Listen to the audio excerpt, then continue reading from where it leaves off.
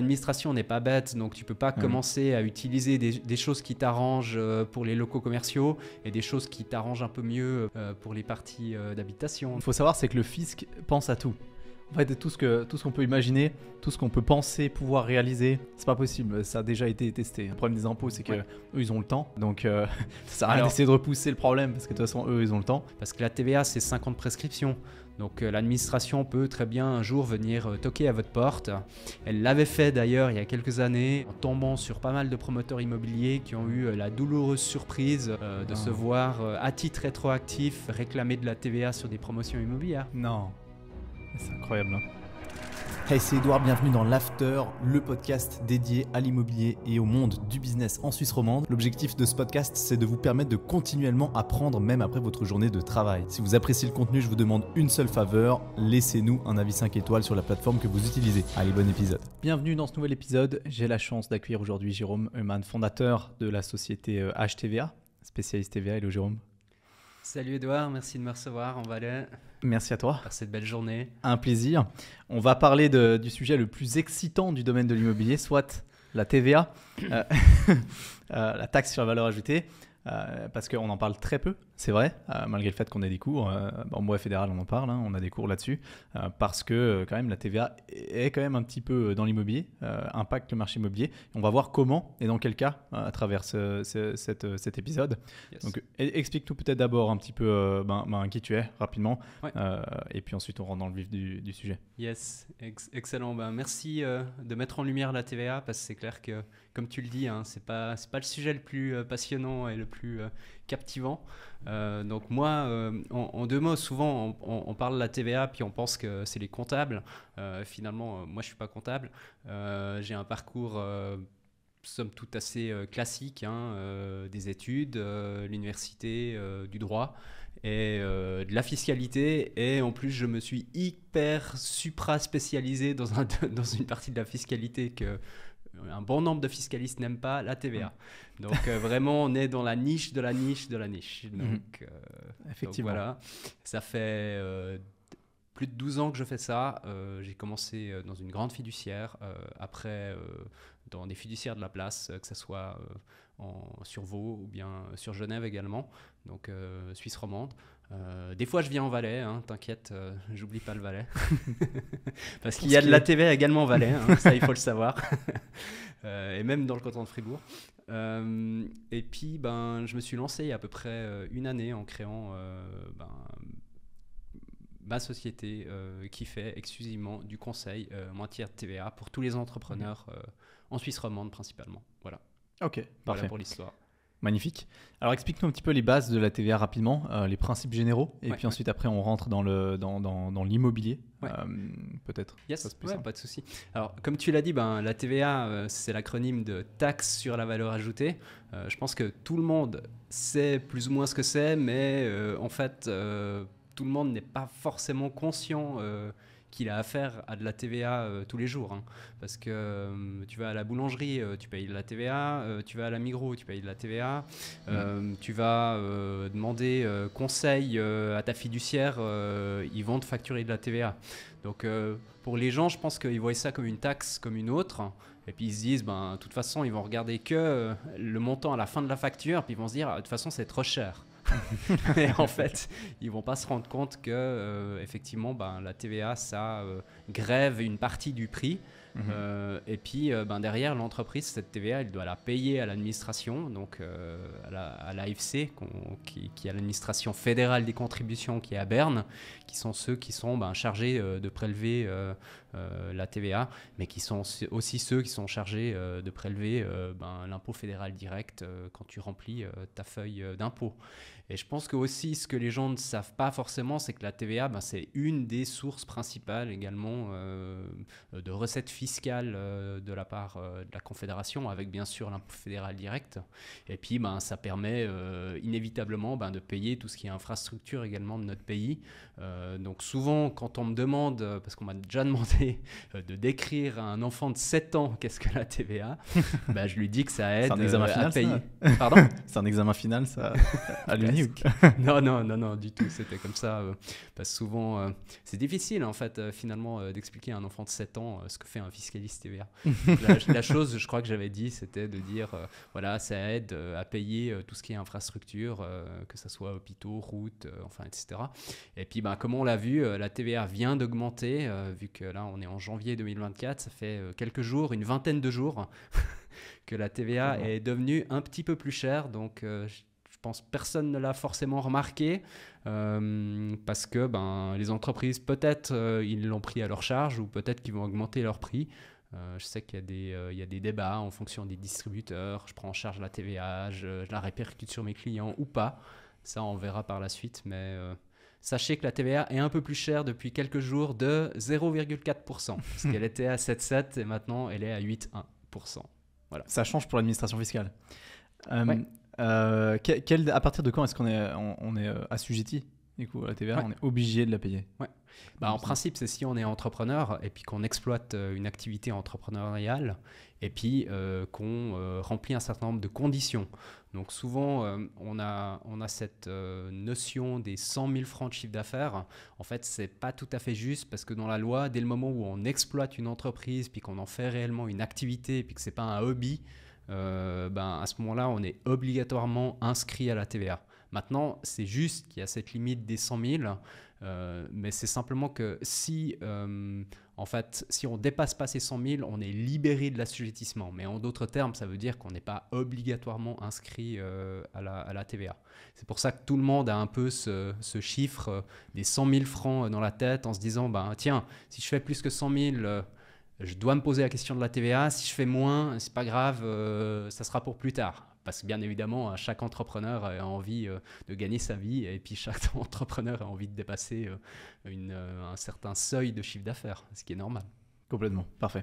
Et euh, dans le cadre de l'immobilier, du coup, euh, parce que ça c'est pour un business de, manière, de, manière générale, euh, l'immobilier résidentiel n'est pas soumis à TVA, sauf dans quelques exceptions. exactement. on va en parler après, mais, mais dans quel cas concrètement est-ce que la TVA impacte le marché immobilier? Ben, typiquement, euh, si euh, tu es euh, carleur, maçon ou alors même entreprise générale et puis que tu factures des prestations de construction, de transformation, de rénovation, ben, à chaque fois que tu vas rénover quelque chose qui est sur le territoire suisse et que tu vas envoyer ta facture pour je sais pas, tes travaux de peinture ou le maçon pour son mur ou alors son din qu'il a posé au moment où il a détruit le mur porteur, ben, il va de toute façon facturer une prestation euh, soumise à la TVA, pour autant, ben, bien évidemment, qu'il ait dépassé cette limite euh, euh, des 100 000 francs de, de, chiffre d'affaires. Et c'est là aussi où des fois on voit les gens un petit peu flirter avec la question, justement, je suis inscrit, je ne suis pas inscrit. Parce que ben il y en a certains, bien évidemment, et c'est tout à fait euh, possible. Euh, ben ils se disent, euh, voilà, je suis à 95 000, je vais arrêter de facturer et puis le reste je facturerai l'année prochaine. comme ça, je dépasse pas les limites des 100 000. Ah, c'est tout à fait une, une, possibilité. faire plein de sociétés. c'est possible ça. Oui, mais non, non, parce que si tu commences à faire plein de sociétés, mais que finalement derrière c'est réellement tout le temps toi qui fais euh, la, la, prestation. Un jour ou l'autre, euh, de toute façon, l'administration euh, va, te va te requalifier. Ah, ils vont Ok. Donc c'est impossible de, de, créer plein de, de petites sociétés, des sociétés qui facturent 97 000 francs par année et qui du coup sont pas assujetties TVA. Bah, si tu veux, globalement, tu peux, mais si derrière c'est le même animateur pour la société et puis que qu'une fois il facture avec la société 1, 2, 3, 4, 5, 6, 7, 8, 9, 10, après si sa comptabilité joue, je pense que dans les faits, c'est possible, mais je pense mm. qu'un jour ou l'autre, quand même, euh, il sera rattrapé par l'administration parce que euh, il va dire vous avez fait un montage euh, fiscalement discutable. discutable, comme tu dis, du fait que vous avez créé 10 sociétés qui font exactement la même activité, histoire de juste éviter d'être mm. d'être soumis à la TVA. Parce qu'après, il faut pas oublier que ben, sa comptabilité, il faut qu'elle joue. Donc ça veut dire que derrière, ben, il devra faire potentiellement 10 comptabilités différentes et, euh, et, puis, euh, et puis sortir 10 euh, comptes de résultats différents. Donc je pense que le jeu n'en vaut pas forcément la chandelle. Quoi. Effectivement. En tout cas, j'ai jamais entendu personne qui fait un truc pareil. ça, c'est pour, donc ça, c'est pour des artisans qui facturent des prestations dans, dans, le domaine de la construction. Exact. Maintenant, dans l'investissement immobilier, dans quel cas est-ce qu'on peut confronter la, la TVA en tant qu'investisseur? Comme euh, que- dans l'investissement immobilier, ben effectivement, si tu, enfin, comme tu l'as dit justement, dès le moment où on a de la TVA euh, immobilière, on va dire, la problématique, c'est que euh, si tu fais de l'appartement en tant que tel et du résidentiel, en principe, c'est exclu du champ de la TVA. À part, bien évidemment, si tu fais de la promotion immobilière, ben ça, je pense qu'on discutera un petit, un petit moment par, par la suite pour Mhm. voir un petit peu ce, ce cas de figure en tant que tel. Mais ça veut dire que si tu es investisseur et puis que effectivement tu, euh, tu construis en tant que tel euh, un immeuble, euh, disons, commercial, et puis que ensuite cet immeuble commercial, par exemple, je sais pas, tu construis, disons, une, une, hall box, et puis tu en fais euh, 50. Et puis après, ben, tu te dis, euh, je conserve ça dans ma société immobilière, hein, et puis euh, j'ai pas envie de les vendre, mais j'ai envie de les conserver en tant que tels, puis de les louer à euh, Pierre, Paul et Jacques, etc. Mhm.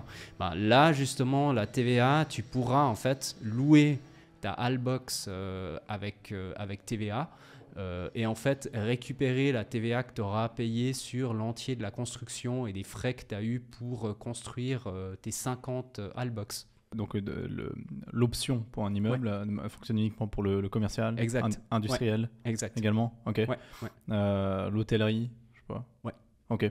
Donc euh, unique, le résidentiel n'est pas ne, Non, ne peut pas résidentiel, être dès le moment où c'est considéré comme, le, le- si tu veux, comme, euh, comme exclusivement à titre de, de- de résidentiel, tu peux pas opter. Et puis ça, ça résulte de la loi, c'est assez clair. Il n'y a pas moyen de, de- déroger à ça.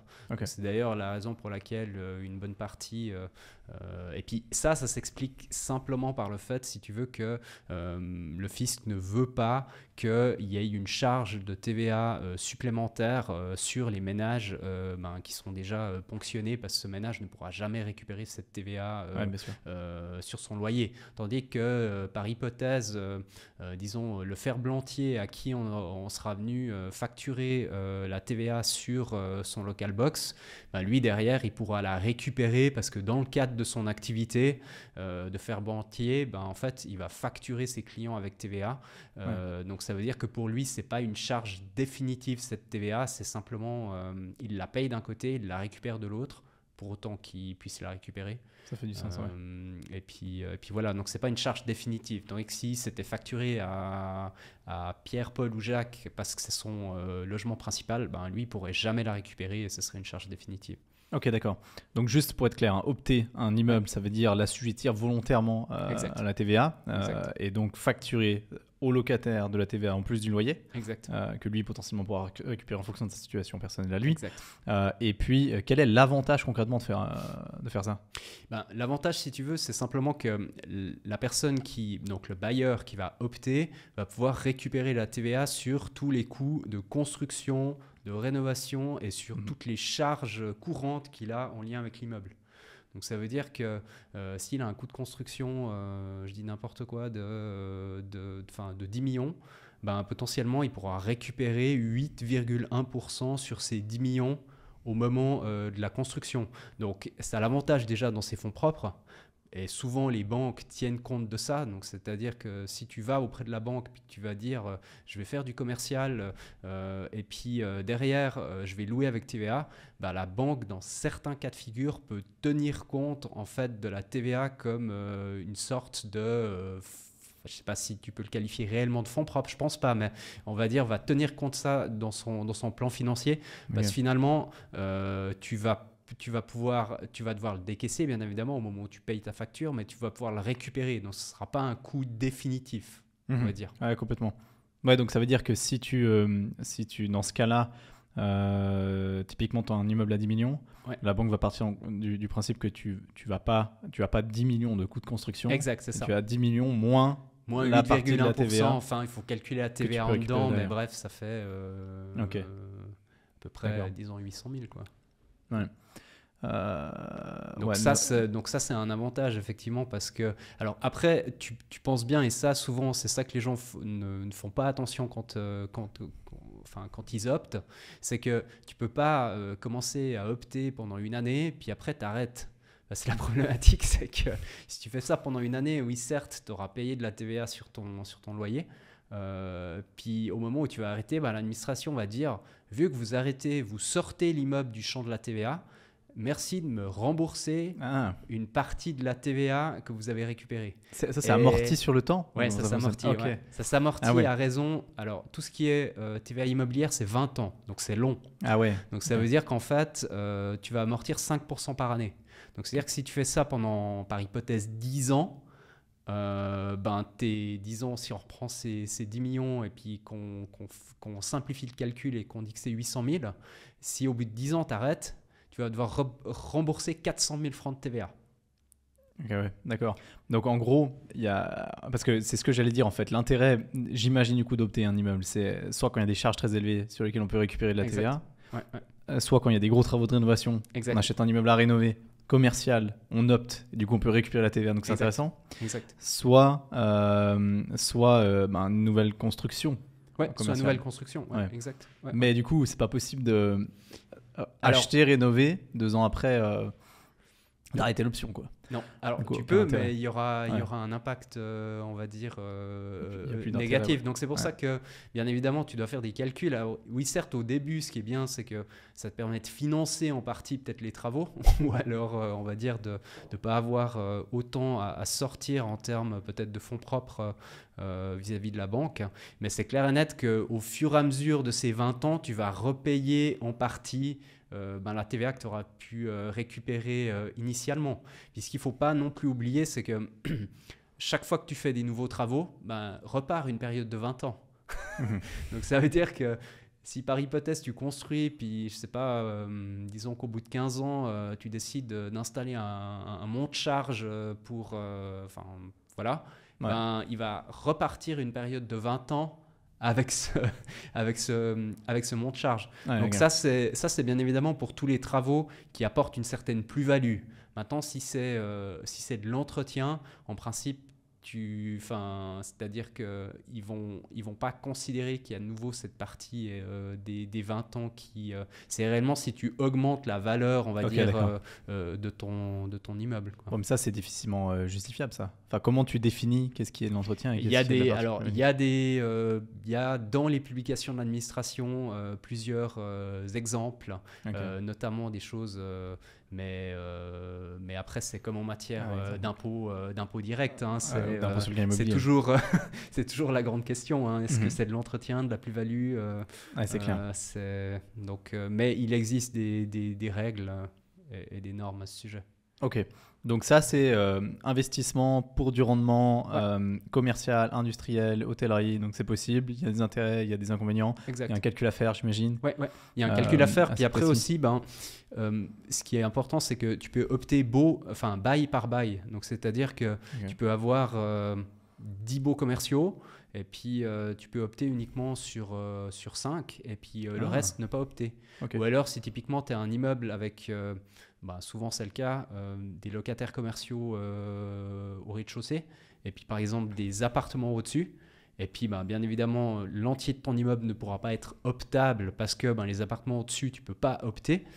Ben, en fait, euh, c'est là où ça devient un peu plus compliqué parce qu'au niveau des coûts de construction, tu vas devoir faire de l'affectation directe. Hmm. C'est-à-dire que tu, pour des coûts, on va dire, de grosses œuvres, euh, et typiquement euh, l'ascenseur, je te donne un exemple, si tu as euh, allez, deux, enfin, deux, étages de, deux étages de parking, et disons que ces parkings sont uniquement liés aux locaux commerciaux, parce que si tu as un parking qui est lié à un local d'habitation, tu pourras pas opter non plus. Ouais. Logique. Complètement.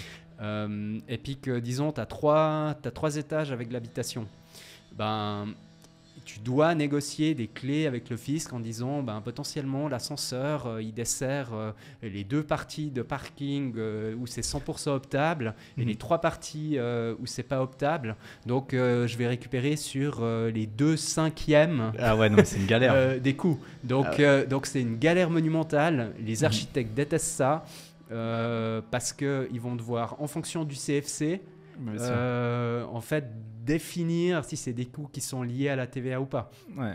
Alors après, tu as des choses qui sont plus simples. C'est clair que si dans tes locaux commerciaux, tu les équipes pas, et puis que finalement, euh, euh, tout ce qui est cuisine, euh, salle de bain et tout, ben, ça c'est assez simple parce que cuisine, salle de bain, c'est bien évidemment uniquement pour des parties habitation, donc ça Mhm. tu récupères pas. Ouais. Mais toutes les, enfin, tous les éléments qui sont... Ah, les gros œuvres, quoi. Tout le gros up, Ouais. c'est plus compliqué. Alors après, tu peux partir, souvent, tu pars sur les mètres cubes SIA. C'est-à-dire Mhm. que tu vas regarder le nombre de mètres cubes euh, SIA euh, euh, qui seront loués en définitive. et souvent, tu prends les mètres cubes parce que c'est plus avantageux pour les surfaces commerciales. Bah, bien sûr. Parce que, à cause du plafond. La hauteur sous plafond est plus Parce élevée. que- mais, mais après, l'administration n'est pas bête, donc tu peux pas Mhm. commencer à utiliser des, des choses qui t'arrangent pour les locaux commerciaux et des choses qui t'arrangent un peu mieux pour les, pour les parties euh, d'habitation. Donc, ils euh, pensé à tout. hein. oui, oui, bien Le sûr. fisc- Ce qu'il faut savoir, c'est que le fisc pense à tout. En fait, tout ce que tout ce qu'on peut imaginer, tout ce qu'on peut penser pouvoir réaliser euh, ou euh, penser pouvoir échapper, c'est pas possible. Ça a déjà été testé. hein. Ouais, souvent. Peu importe, peu importe dans quelle, euh, peu importe dans quelle industrie. Euh, ok, excellent. Donc là, on a, on a vu l'investissement. Ouais. Et maintenant, si on parle de promotion immobilière, donc Ouais. pour la, la- la nouvelle construction, Ouais. euh, hors euh, commercial, hein, parce qu'on a vu pour le commercial, c'est possible. Pour le résidentiel, comment ça fonctionne? Parce que je sais que du coup, en fonction de certaines promotions, il y a des promotions qui sont, qui sont soumises TVA, des promotions qui ne sont pas soumises TVA. Comment ça fonctionne? Exact. Bah, en fait, promotion immobilière, il y a des règles maintenant qui s'appliquent depuis, je crois, le 1er juillet 2013. Donc, on a déjà un- un- un- pas mal de Ouais. recul, on va dire. Ça fait, ça fait une dizaine d'années maintenant. Euh, mais tous les jours, on- les promoteurs ont des constructions un petit peu différentes. Euh, je sais qu'en fonction des cantons, donc euh, Genève, c'est peut-être pas forcément la même chose.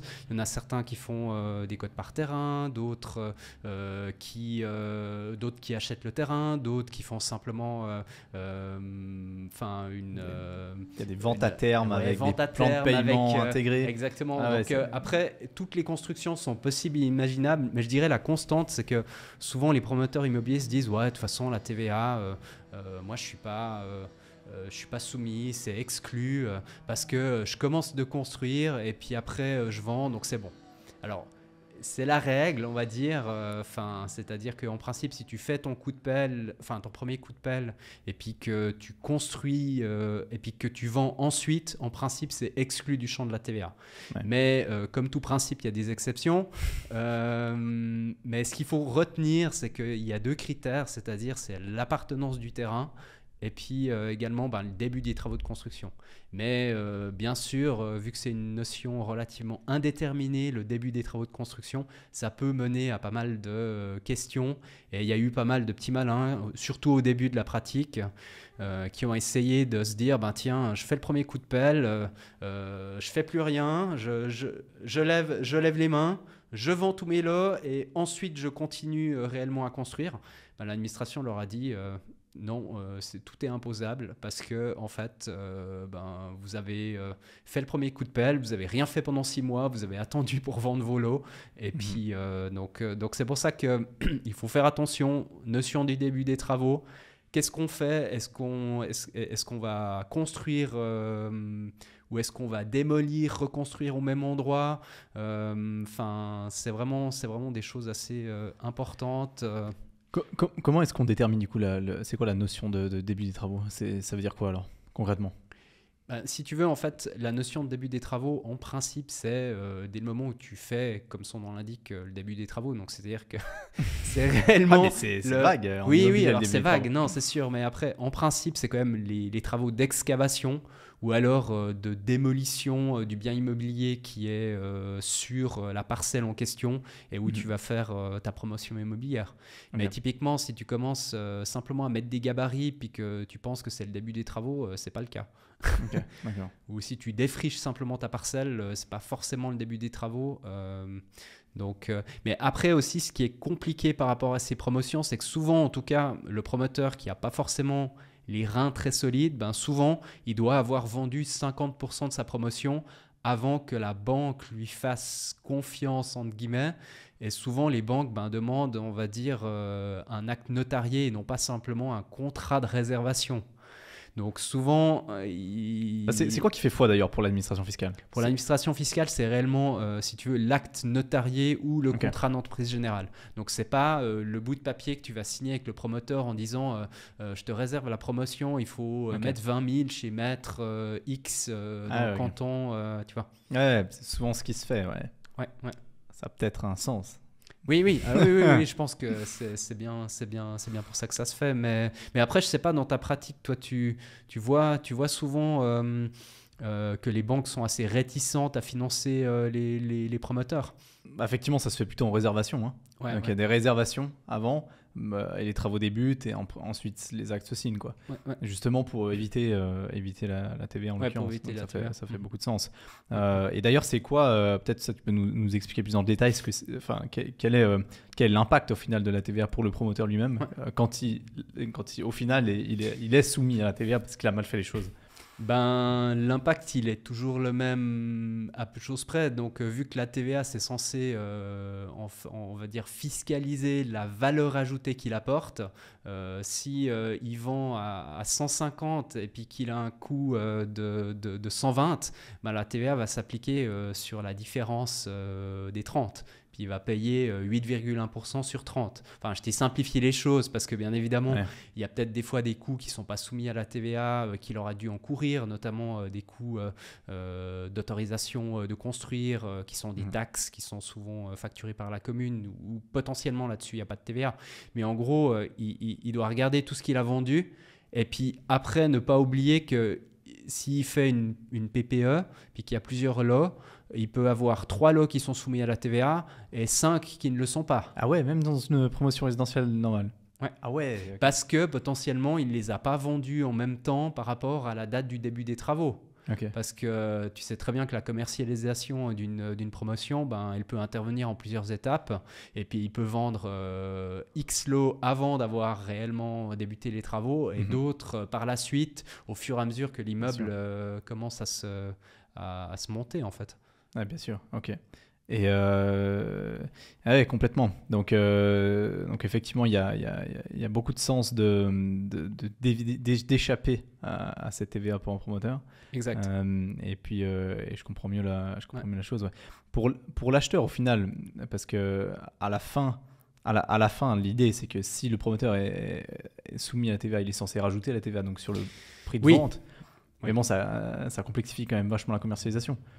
Alors, bah, ça, va lui, ça va lui diminuer euh, sa marge, ça c'est sûr, hein, parce que comme, euh, comme on l'a vu dans l'exemple avec 150 et puis euh, je sais plus si c'était 120 ou 130, mais bref, de toute façon il va devoir payer de la TVA et puis cette TVA, euh, s'il est malin, il l'a rajoutée euh, dans ses dans ses coûts de dans ses coûts euh, qui, qui- où, où, euh, l'acheteur va la va, va la payer parce que de toute façon l'acheteur pourra jamais la récupérer, mais donc euh, et puis après ben souvent si tu as également un contrat d'entreprise générale par contre, ben, sur le contrat d'entreprise générale, là, il y a de toute façon euh, de, la, de la TVA. C'est-à-dire que le Bien constructeur euh, qui va te facturer, je sais pas, euh, 350 000, là, il y aura dans tous les cas de la TVA. Quoi. Donc, euh, Bien sûr, mais quel, quel avantage pourrait avoir un promoteur d'avoir sa, sa promotion résidentielle ou commerciale Du coup, là, ça change rien. euh, qui est soumise à la TVA, c'est ça Ouais. Aucun avantage.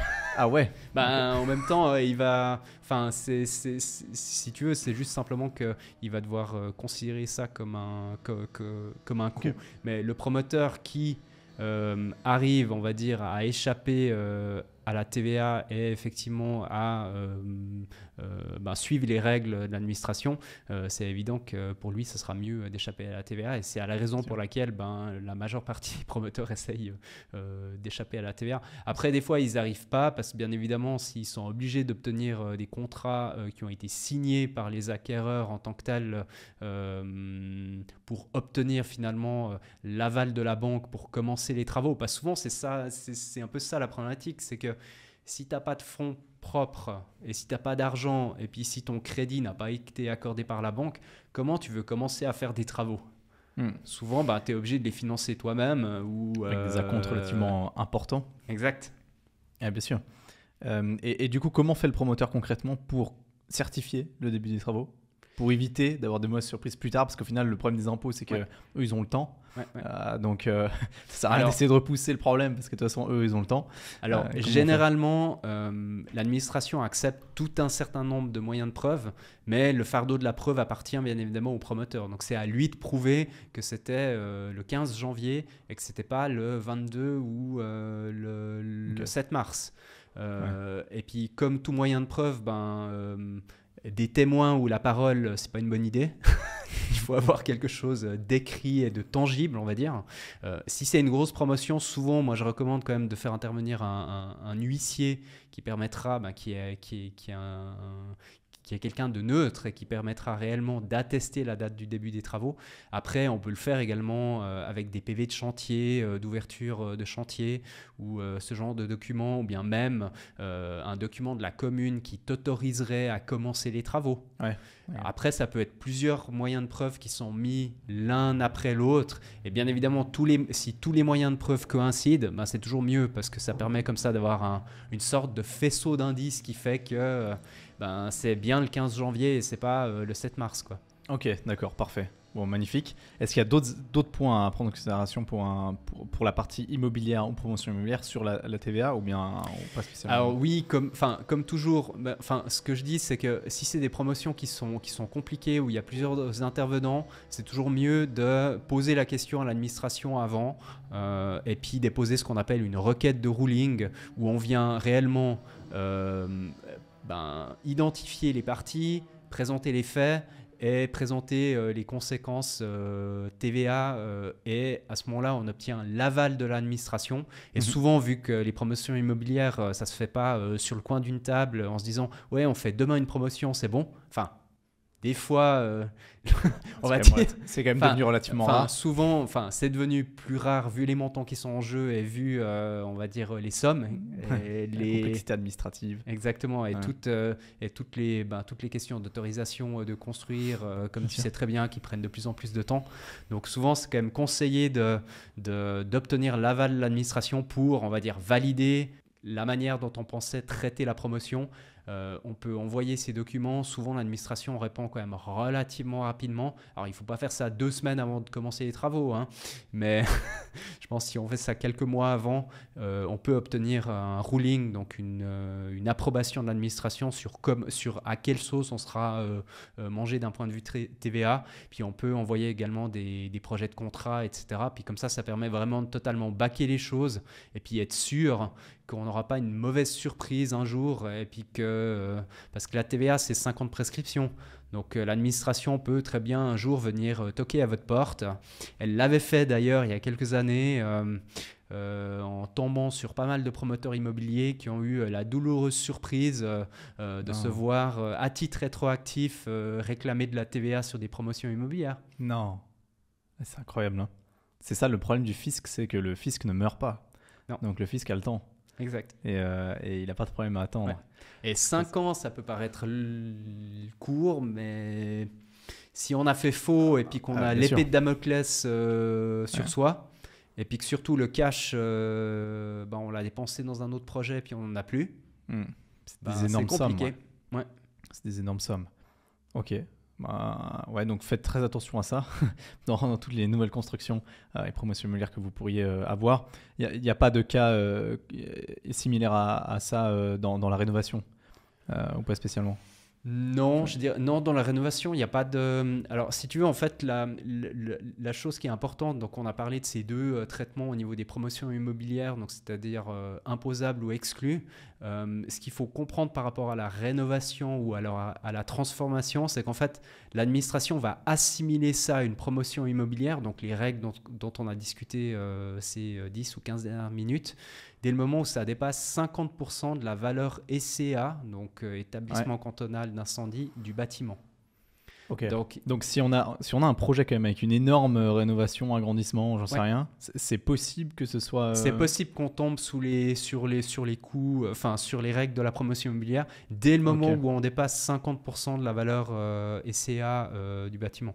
Donc après, si quelqu'un ben, achète un appartement, le rénove, et euh, le revend euh, ensuite, ben, potentiellement, s'il dépasse 50% euh, de, la, de la valeur, il pourrait être concerné par ça. Mais pour un appartement, c'est compliqué. Ça veut dire que dans un appartement PP, c'est-à-dire qu'il faut prendre l'assurance du bâtiment en entier, prendre la valeur en fonction des millièmes qui est déterminée pour ce bien immobilier, et en fonction des travaux qui sont injectés dans l'appartement. Ouais, mais souvent, bon, hein, ouais, mais souvent, honnêtement, je pense que dans, dans, dans, dans tous les cas que tu vois, au niveau des, cas, des, des transformations et des rénovations, les gens dépensent jamais 50% de la valeur. euh, parce que voilà, même si tu dépenses, comme tu dis, souvent 1000 à 1500 francs du mètre carré euh, pour faire une rénovation totale d'un appartement, vu les prix euh, des appartements en Suisse, il faudrait être dans un canton où le prix est à euh, 3000 francs du vraiment- mètre. vraiment pas Ça n'existe pas. Effectivement. Même dans le Jura, je Euh, pense que. ou au fin fond du Valais, je pense qu'on n'est pas dans ce cadre-là. Non, effectivement, non, non, c'est pas tellement possible pour un appartement. Mais par contre, ce qui est possible, c'est pour un, un- un immeuble, petit immeuble, euh, sur lequel on rajoute deux étages. Oui. Euh, J'en sais rien, et du coup, on agrandit considérablement. Ouais, ouais. Euh, on constitue une PP, ou alors c'est Ouais, déjà une PP, mais on agrandit, on rajoute des lots, et ensuite on vend. Oui, potentiellement. Mais, mais donc, ouais, euh, ouais. mais, mais donc là, ça veut dire qu'il faut, il faut, c'est si on vend, quoi. Parce qu'évidemment, Oui, si on loue, si on, de- bah, ouais. si, si on loue ou si on conserve pour soi et puis qu'on fait du rendement locatif, et que c'est des appartements, bah, on sera de toute façon jamais concerné par la TVA parce que de toute façon on pourra pas opter vu que c'est du résidentiel en fait. Ok, bien sûr. Donc, dans le cas où on flirte un petit peu avec ces 50%, de nouveau, c'est mieux de faire un ruling fiscal pour euh, demander un ruling pour, euh, pour savoir à quelle sauce on sera mangé. Ok, Exact. parfait. Magnifique. Euh, par rapport à la TVA, moi j'avais une question, c'est euh, comment est-ce qu'on peut, mais qui sort du contexte immobilier un peu, euh, Ouais. comment on justifie qu'on a, on a une TVA qui est si faible en Suisse par rapport à la France, par exemple, juste à côté de chez nous? Je sais pas, c'est des, des questions de. Enfin. Toi qui es là-dedans depuis, depuis tellement longtemps, donc je pense Ouais, que tu- bien t'as- sûr. t'as- Ouais, ouais, tu, bien tu sûr. vois les, les, les TVA qui sont autour de nous, oui, oui, bien qui sont quand même beaucoup plus importantes que chez nous. On Bien parle de deux Bah, après, je fois, pense que- trois fois 3. Après, je pense que c'est aussi historique et puis euh, inévitablement, euh, euh, on, on sait bien comment le, le peuple suisse réagit face à des votations.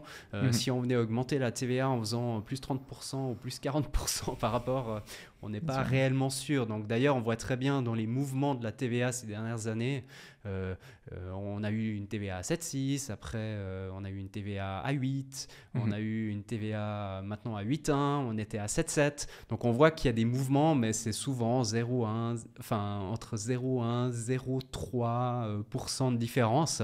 Après, ça tient compte quand même euh, d'un point de vue historique. hein. La TVA en Suisse, elle a été introduite euh, au 1er euh, janvier 1995.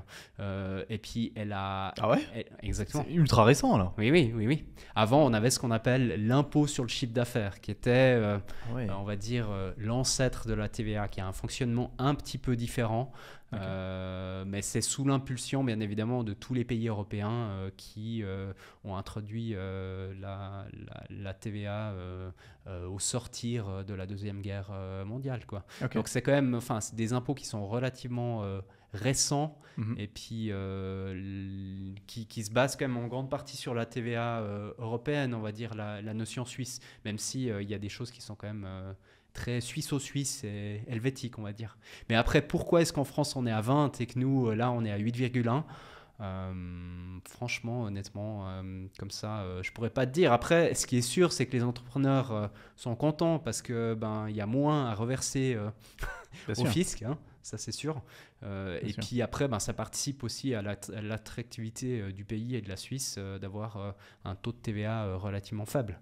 Après, dans tous les cas, de toute façon, c'est compensé également par le fait que ben, tu, vas, tu, vas, tu vas prendre une prestation en France, ben, potentiellement, elle te coûtera moins cher qu'en Suisse, même si, euh, même si la TVA euh, en Suisse est à 8,1 alors qu'elle est à 20% en France. Ouais, complètement. Euh, Ok. Parfait. Qu'est-ce qu'on doit savoir d'autre par, rapport à la- par rapport à la TVA Quand on a une, une entreprise, peut-être qu'on- quand on la lance ou j'en sais rien. Ouais. Des- Ben, quand, je pense que quand tu la lances, la grosse question, ben, c'est d'abord de savoir si oui ou non tu es obligatoirement euh, inscrit à la TVA. Donc c'est cette limite qu'on a parlé au départ euh, des 100 000 francs. Mhm. Euh, après, bien évidemment, même si tu dépasses pas cette limite des 100 000, tu pourrais euh, quand même t'inscrire de, de manière volontaire. Donc Mhm. c'est-à-dire, même si tu fais par hypothèse euh, 10 000 francs de chiffre d'affaires, tu peux être inscrit à la TVA. Après, pourquoi s'inscrire à la TVA et puis euh, en payer? Bah, C'est pour pouvoir la récupérer derrière. Donc c'est-à-dire que si tout d'un coup, euh, je sais pas, euh, d'ailleurs beaucoup de, beaucoup de startups sont inscrites à la TVA euh, alors même que ça fait euh, plusieurs euh, années, alors peut-être pas 10 ans, mais plusieurs, je sais pas, une, un ou deux ans parce qu'elles sont en train de lancer leur, leur business model et puis elles encourent des charges et sur ces charges elles peuvent récupérer de la TVA parce que Mm. dans le futur si tu veux l'objectif c'est de réaliser des recettes qui vont en fait compenser en, en quelque sorte toute la TVA que tu auras pu euh, récupérer euh, par le passé. Donc Ouais. typiquement un entrepreneur qui se lancerait et qui se dirait, ben tiens, euh, je vais peut-être pas dépasser les 100 000, mais euh, je vais mettre la voiture dans ma société, et puis euh, je vais, je vais euh, acheter un ordinateur, et puis je vais avoir un certain nombre de dépenses. Ben, il peut très bien s'inscrire à la TVA.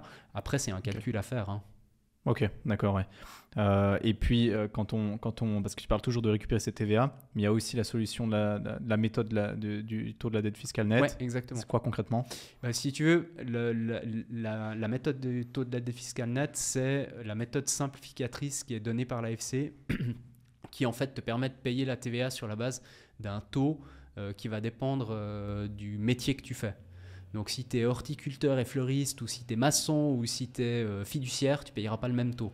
Après, euh, cette méthode-là, si tu veux, elle a été développée par l'administration pour faciliter la vie des contribuables TVA, parce qu'ils n'ont que deux décomptes TVA à faire par année. Et puis, ils n'ont pas besoin de regarder toute la TVA qu'ils pourraient récupérer sur leur charge. Donc, ce qu'ils vont simplement Ouais. faire, c'est prendre leur chiffre d'affaires, tu fais 50 000 de chiffre d'affaires avec TVA, et tu appliques le taux qui est donné par l'administration. Après... euh, euh, Ça veut dire que toi, tu factures 8,1 ouais, dans tu tes factures. factures 8,1 dans tes factures, mais et en fait, tu va vas, facturer. mais, euh, mais en 5. fait, tu vas, tu vas payer peut-être euh, 6,2%. Ok. Et puis le delta entre euh, ton 6,2 et puis, euh, et puis le 8,1 est en fait en quelque sorte la TVA que tu n'as pas besoin de reverser à l'administration à Berne. Donc en quelque sorte la TVA que tu peux euh, récupérer.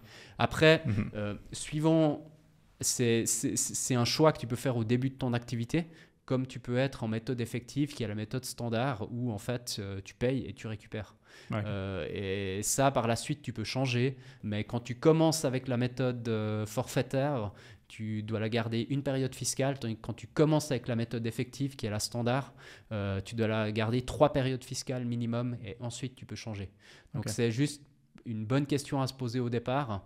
Après, euh, ces taux qui sont fixés par l'AFC, ils sortent pas du, du- du- chapeau. hein. Euh, c'est des taux qui sont des taux d'expérience. Donc, ils sont allés voir euh, euh, un échantillon de X sociétés qui, font, qui, qui sont fleuristes ou qui sont boulangers ou qui sont maçons. Et puis, ils ont regardé le delta de la TVA qui est payée, respectivement de la TVA qui est récupérée. Et c'est comme ça qu'ils arrivent à ce, hum, à ce taux-là. Donc, euh, Donc ça, ça si- vaut la peine de faire un. un- ça vaut la peine au début. Ouais, si tu veux, ça vaut la peine au, au début de se poser la question en, en se disant euh, qu'est-ce que je vais avoir comme charge? Voilà, ouais. Euh, Est-ce que je vais investir euh, Parce que si tu es dans la norme, on va dire, des horticulteurs et fleuristes, et puis que tu n'as pas un business qui est très différent de tous tes concurrents, assez logiquement que tu sois en méthode effective ou au TDFN, tu payeras à peu de choses près la même charge fiscale à la fin de l'année. Mais si typiquement tu as des charges qui sont totalement différentes parce que tu dois faire des investissements, parce que euh, tu dois rénover ton, ton, ton, ton magasin, euh, parce que tu dois racheter des équipements euh, complémentaires, bah, là ça peut valoir la peine, si tu étais typiquement au TDFN, de se dire bah, l'année fiscale suivante, je passe en méthode effective. Mhm. Ou alors, si tu as très très peu de charges, Ouais, exact. ça vaut aussi. la peine de faire un- plutôt un TDFN. Exact. Et puis, euh, dans ce cas-là, tu. Exact. Mais après, si tu veux, tu as pas mal de subtilités et ça, c'est souvent. ce- Enfin, moi, j'aime pas trop le TDFN, je vais te dire pourquoi. Parce que, en fait, les gens, souvent, euh, ils oublient ce qu'on appelle l'impôt sur les acquisitions. L'impôt sur les acquisitions, c'est ce qu'on appelle le reverse charge en Europe. C'est simplement que euh, quand tu acquiers en tant qu'en- qu'entreprise suisse, tu acquiers des services de l'étranger, par exemple, tu vas Mhm. demander à un web designer euh, en France de faire ton site internet. Il te facture ça 5000 euros. Lui, euh, il va pas te facturer de TVA française parce qu'il va considérer qu'il facture à une société suisse, ce qui est juste. Lieu du destinataire, tu es en Suisse, il ne te facture pas de TVA française. En fait, c'est à toi, société suisse, de payer la TVA sur ces 5000 euros, 7,7%. Si tu es en méthode effective, tu la payes, tu la Mhm. récupères dans le même décompte. Donc c'est un effet neutre. Si tu es au TDFN, tu la payes, tu la récupères pas. Ah oui. Ok. Donc, c'est-à-dire que Mais lui, comment ça se passe? Ça veut dire le prestataire français te, te facture les 5000 euros sans TVA, sans TVA française, mais toi, Et tu es censé en c'est à toi, en fait, c'est toi qui vas devoir calculer. Alors, bien sûr, premièrement, tu dois ben, euh, prendre les 5000 euros et puis euh, les convertir en francs suisses. Euh, mais ça, tu- en principe, tu devras de toute façon le faire dans le cadre de ta comptabilité parce qu'elle elle est de toute façon en francs suisses. Puis après, ben, tu calcules 8,1% sur ces, euh, sur ces euh, 5000 euros. Ben, disons que c'est un 1 pour 1. Ça veut dire que ben, tu vas devoir payer euh, 5000 fois 8,1%, enfin 8,1% fois 5000 euh, de TVA. Et c'est ce qu'on appelle l'impôt sur les acquisitions. Donc souvent, et ça, ça s'applique sur tous les services que tu acquiers de l'étranger. Et comme on le sait tous, ben maintenant, euh, ça peut être des services, mais ça peut être aussi des licences. Typiquement, tu as, un logiciel qui provient de l'étranger et qui t'est facturé de l'étranger. Tu as Ok. un abonnement euh, Ah à ouais. Google. Et ça, c'est pour autant que le fournisseur étranger soit pas soumis à la TVA suisse. Parce que des fois, ça arrive également que le fournisseur étranger, euh, parce qu'il a plusieurs clients en Suisse, euh, il est soumis à la TVA suisse. Si tu veux, c'est juste une règle qui a été mise en place pour éviter que euh, la concurrence malsaine, que tu ailles chercher euh, des services à l'étranger, puis qu'en fait, il n'y ait aucune TVA qui te soit facturée euh, sur, sur la prestation. Donc c'est l'AFC qui te facture directement cette. cette Non, c'est à toi-même d'auto-déclarer ça dans Ah ton ouais. décompte TVA Ok. et de mettre ça dans ton décompte. Donc souvent, ce que, ce que les gens oublient quand ils sont au TDFN, c'est que ben, ils doivent déclarer l'impôt sur les acquisitions. Donc euh, typiquement, la personne qui aurait ses 5000 fois 8,1, il doit la déclarer, il doit la payer, mais il ne pourra pas la récupérer vu qu'il est au TDFN. Donc Ouais, c'est un impact quand même euh, négatif. C'est pour ça que TDFN, oui. Maintenant, euh, pour, des, euh, pour, pour des sociétés qui, ont, qui sont vraiment suisses-au-suisse, qui n'ont pas de charges qui proviennent de l'étranger, sinon ça peut, ça peut faire mal et puis euh, ça peut vite être plus avantageux euh, d'être à la méthode effective en fait. Ouais, complètement. Ok, d'accord. Donc c'est pour ça que je pense qu'il faut retenir, c'est qu'il n'y a pas de, enfin, il n'y a pas une seule solution. Il faut juste simplement, euh, enfin, se poser, regarder ce qu'on a envie de faire, et puis choisir la meilleure méthode euh, au début de l'activité, en fait. Bien sûr. oui. Et dernière chose sur le- la méthode effective, euh, quand tu récupères l'impôt préalable, c'est vrai que tu récupères l'impôt préalable en fonction de ton chiffre d'affaires qui est soumis à la TVA. Exact. Parce qu'il y a des chiffres d'affaires qui ne sont pas soumis forcément à la TVA, typiquement éducation ou. euh, Ouais, ouais, c'est ça. Voilà. et, et- et ce chiffre d'affaires-là qui n'est pas soumis à la TVA, Ouais. euh, ne- ne- donc c'est un pourcentage du chiffre d'affaires qui du coup ne peut pas, Ouais. qui est de l'impôt préalable qu'on ne peut pas récupérer. Exact, ouais, c'est ça. Mais si tu veux, c'est ce qu'on appelle la méthode des trois pots. Mhm. Donc, tu as le pot A qui est. parce que si tu veux, en TVA, ce que les gens ne font souvent pas, et ça mène souvent à des grosses euh, corrections, c'est que tu dois faire de l'affectation directe des charges. Donc, ça veut dire que tu vas. Quand tu, quand tu reçois une facture d'un fournisseur, euh, tu vas devoir te poser la question, typiquement, ben, est-ce que c'est une charge qui m'a servi à générer un chiffre d'affaires imposable, exonéré ou exclu? Et si on prend ton exemple euh, enfin, d'éducation, euh, disons, euh, tu fais de la formation, formation, ben, c'est exclu du champ de la TVA. Si typiquement tu avais dû acheter des bouquins chez, chez Payot pour te, te former et puis ensuite donner ton cours, ben, Mhm. typiquement, la facture de Payot, tu vas pas pouvoir, enfin, ça sera du POB, ça veut dire que c'est de, de l'impôt préalable que tu peux pas récupérer et que tu dois affecter de manière directe. Ok. Et POA, c'est ce que tu peux récupérer puis que tu affectes de manière directe. Typiquement, ton, ben, ton activité euh, standard, on va dire, euh, d'estimation euh, euh, immobilière, euh, si tu as dû acheter euh, un bouquin et puis euh, grâce à ça, tu as fait une expertise immobilière et puis tu as facturé de la TVA, ben là, pour toi, ça sera du POA et tu pourras récupérer 100% de la TVA dessus. Puis après, on a, vu que je t'avais dit méthode des trois pots, on a le pot C, qui est le dernier, qui est le plus compliqué, qui est le pot mixte. Parce que bien évidemment, tu as des charges ben, qui sont mixtes par essence. Typiquement, euh, euh, si tu as, je sais pas, euh, les coûts de ta fiduciaire, euh, euh, ton loyer, s'il est opté à la TVA, ben, si tu as une activité qui est mixte, puis que tu as 80% de chiffre d'affaires qui est imposable et 20% qui est... euh, Ouais. ben, tu vas devoir en fait euh, affecter, sous, on peut prendre un certain nombre de clés, mais souvent c'est une clé chiffre d'affaires. Donc par hypothèse là, tout ce que tu mets dans ton possé, tu vas devoir, euh, tu vas pouvoir récupérer à 80%, mais corriger à 20%. Ouais, complètement. Donc euh, donc c'est c'est- un peu ça euh, qui est qui est des fois un petit peu plus compliqué. Et ça c'est vraiment juste un exemple simpliste. Après, bien évidemment, ça se complique dans la pratique. Bien sûr. Ok, bon, magnifique. Merci infiniment pour toutes ces informations. Est-ce qu'on a fait le tour de la TVA On n'aura jamais fait le tour, mais écoute, je pense que pour tes, euh, pour tes interlocuteurs, je pense que, je pense que c'est suffisant. Euh, la, la, seule chose, dernière chose que j'aimerais rappeler, c'est que la TVA en Suisse, l'administration est relativement euh, on va dire, à l'écoute et c'est une administration avec laquelle on peut, on peut parler. Ne pas oublier également qu'il y a beaucoup de, ressources qui sont en ligne. Donc il y a mm. bien sûr la LTVA qui est la loi sur la taxe sur la valeur ajoutée. Il y a l'ordonnance qui complète cette loi, mais il y a également beaucoup d'informations qu'on peut retrouver sur le site de l'administration qui s'appellent des infos TVA. Euh, donc on a une info TVA sur euh, l'assujettissement à la TVA, sur euh, l'objet de l'impôt, déduction de l'impôt préalable. Donc réellement sur, je, crois qu'il y en a entre 20 et 25. Et on a également des infos TVA sur les secteurs. Donc c'est-à-dire on a une info TVA sur l'industrie du bâtiment, par exemple, ben, qui t'intéresse. On a une info TVA sur l'administration, la location et la vente d'immeubles. Donc, euh, on a une, une, info TVA sur la finance, sur la santé, bref, sur toutes les thématiques. Il y en a même sur, une sur les horticulteurs et fleuristes. Donc, c'est dire. Hein. C'est pour ça. Donc, voilà, exactement.